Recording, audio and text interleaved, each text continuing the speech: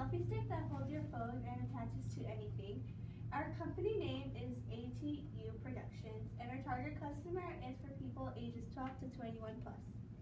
Um, the problem we solve is when you're lying down, the phone falls on your face, or or you are tired of holding. it.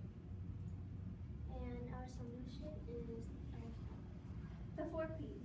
The price for this, the average price for this is $35, but accessories are sold separately.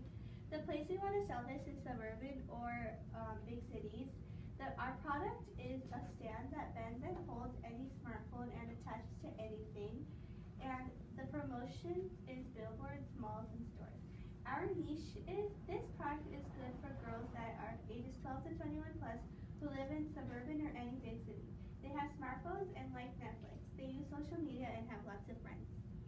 um, for TAM, we want to reach to six million people, and a Slim, we want to try to reach to two million people, and for the SOM, realistically, we can reach to one million people.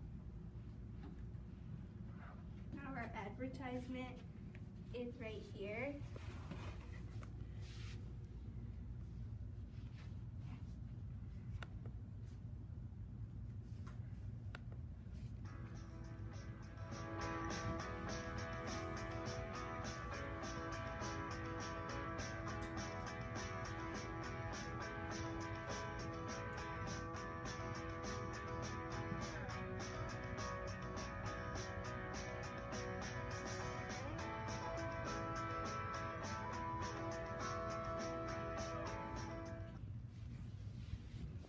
Thank you guys.